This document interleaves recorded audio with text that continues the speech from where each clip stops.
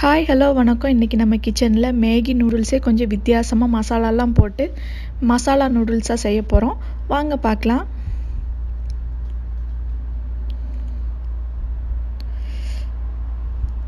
நான் ஒரு அரை வெங்காயம் கட் பண்ணி வதக்குறேன். நான் ஒரு ரெண்டு ஸ்லைஸ் நூடுல்ஸ் எடுத்திருக்கேன். ரெண்டு ஸ்லைஸ் நூடுல்ஸ்க்கு அரை வெங்காயம் கட் பண்ணி வதக்குறேன்.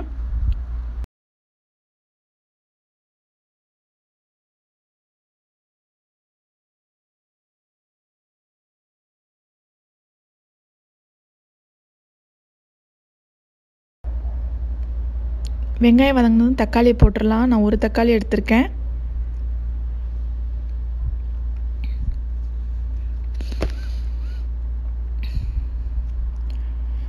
தக்காளி வதங்குறதுக்கு கொஞ்சம் உப்பு போட்டுறேன். நான் எப்போவும் தக்காளி வெங்காயம் வதங்குறதுக்கு தனித்தனியாக உப்பு போடுவேன். உப்பு போட்டிங்கன்னா சீக்கிரம் வதங்கிடும் அதனால தான் நான் உப்பு சேர்க்குறேன்.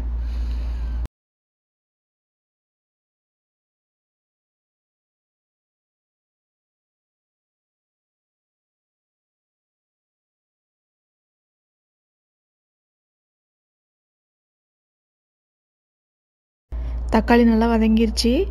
இப்போ பீஸ் சேர்த்துடலாம். நான் ஃப்ரோசன் பீஸ் எடுத்திருக்கேன். ஃப்ரோசன் பீஸ் தான் வந்து சீக்கிரமாக நூடுல்ஸ்க்கு சீக்கிரமாக வேகுங்கிறதுனால நான் அதை எடுத்திருக்கேன். இப்போ இது வதக்கி விட்டுடலாம். லைட்டாக வதக்கிட்டு மசாலா சேர்த்துடலாம்.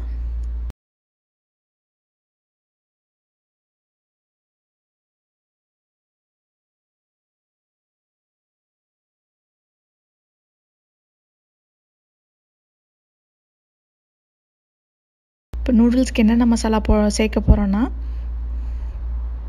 அரை ஸ்பூன் கரம் மசாலா கால் ஸ்பூன் மஞ்சள் தூள் ஒரு ஸ்பூன் மிளகாய் பொடி ஒரு ஸ்பூன் ம மல்லிப்பொடி. இதெல்லாம் தான் சேர்த்து வதக்க போகிறோம்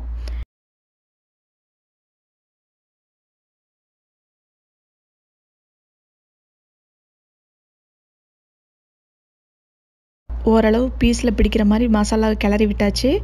இப்போ வந்து நம்ம நூடுல்ஸ்க்கு எவ்வளோ தண்ணி வைப்போமோ அந்த அளவுக்கு தண்ணி வச்சுக்கலாம். நான் நான் ரெண்டு ஸ்லைஸ் எடுத்திருக்கேன். அதுக்கு தகுந்த மாதிரி தண்ணி ஊற்றுறேன்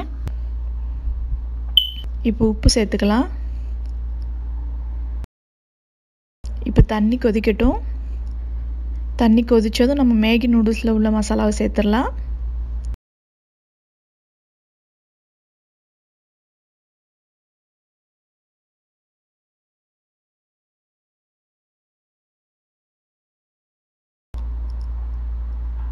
பாருங்கள் மசாலாவும் கொதிச்சிருச்சு. இப்போ நூடுல்ஸை சேர்த்துடலாம்.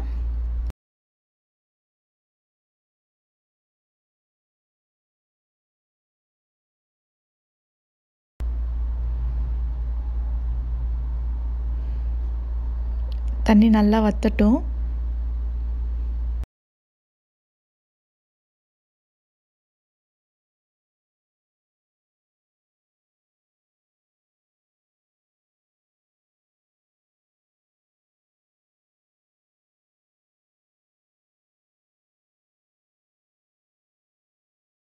அதாவது ரொம்ப தண்ணி வற்ற விடாமல் ஓரளவுக்கு லைட்டாக லைட்டாக தண்ணியோடு சாப்பிட்டிங்கன்னா இன்னும் நல்லாயிருக்கும். இங்கே பாருங்கள் ரெடி ஆயிடுச்சு. நூடுல்ஸ் ரெடி ஆயிடுச்சு.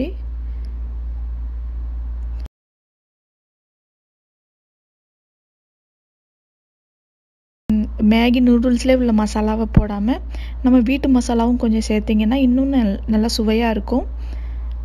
உங்களுக்கு பிடிச்சிருந்தா லைக் பண்ணுங்கள் ஷேர் பண்ணுங்கள் கமெண்ட் பண்ணுங்கள் சப்ஸ்கிரைப் பண்ணுங்கள் நன்றி வணக்கம். அடுத்த வீடியோவில் பார்க்கலாம்.